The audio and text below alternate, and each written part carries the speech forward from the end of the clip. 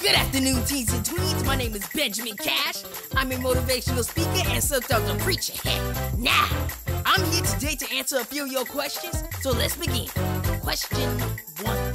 My parents want me to take AP chemistry, but I want to take quad and have a good time with my friends. What should I do? Well, I don't really care what class you take, as long as you can read the letters and numbers on the money. Question two. Boy that likes me keeps giving me gifts, but I don't like him back. What should I do?